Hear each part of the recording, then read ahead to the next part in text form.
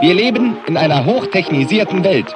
Wohin wir auch blicken, Maschinen erledigen unsere Arbeiten und tun alles, um unser Leben angenehmer zu gestalten. Doch inwieweit können Maschinen Liebe und menschliche Interaktion ersetzen? Du bist aber mal ein verdammt süßer Staubsauger.